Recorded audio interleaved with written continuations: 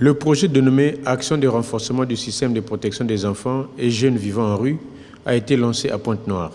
Le SAMU social Pointe-Noire, avec l'appui de ses partenaires, s'engage à ne ménager aucun effort pour une prise en charge efficiente de ces enfants privés de leurs droits humains en vue d'accompagner et d'apporter l'assistance appropriée dans la ville océane. Pour son directeur, ce projet vient contribuer au renforcement de la protection des populations victimes des violations des droits humains en ciblant les enfants et jeunes vivant en rue. Ensemble, nous allons écrire une nouvelle page de notre histoire. Une page qui contribuera au renforcement de la protection des populations victimes de violations des droits humains, en l'occurrence des enfants et jeunes vivant en rue.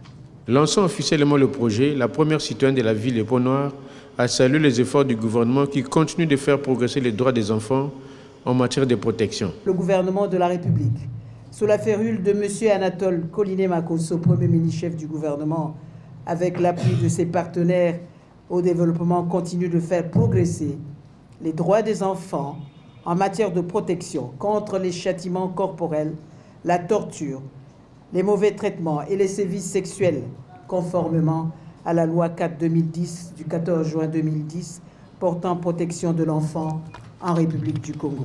Ce nouveau projet dont nous mesurons tout l'intérêt, permettra assurément d'accompagner la lutte contre l'exclusion sociale des enfants et jeunes vivant en rue à Pointe-Noire, d'échanger avec les participants sur leur rôle d'appui et les collaborateurs attendus durant la mise en œuvre du dit projet. Créé en 2006 à la demande de la mairie de la ville, le SAMI social Pointe-Noire a pour but de venir en aide à une population particulièrement vulnérable, à l'instar des enfants et jeunes en situation de rue. Thank you.